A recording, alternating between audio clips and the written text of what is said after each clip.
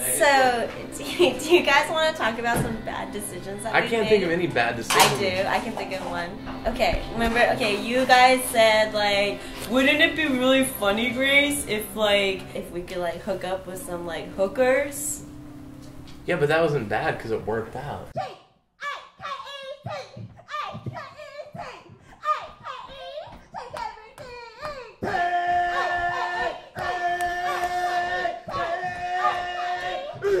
Woo!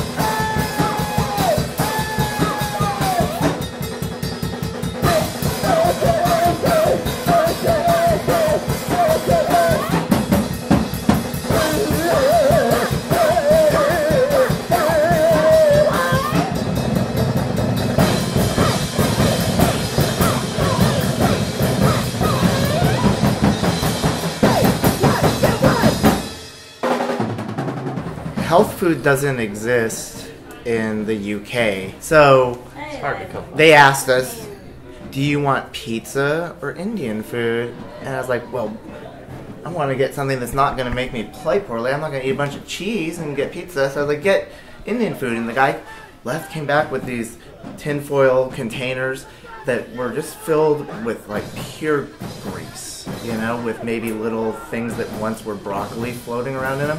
One minute before we were supposed to play, and we're at this like place that upstairs is this punk venue, and then downstairs is like a bar for like old grizzly UK guys. And I just run there, I'm just like pushing that past people in the bathroom, just like just to barely land on it, and just like have everything come out.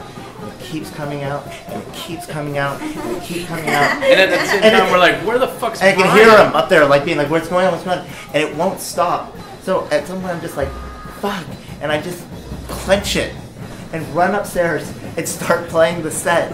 And about halfway through it, doing that is so fucking bad for my body. I'm just like, Sweating. like I'm just sweating so hard and like I'm just running a fever and getting cold chills and everything.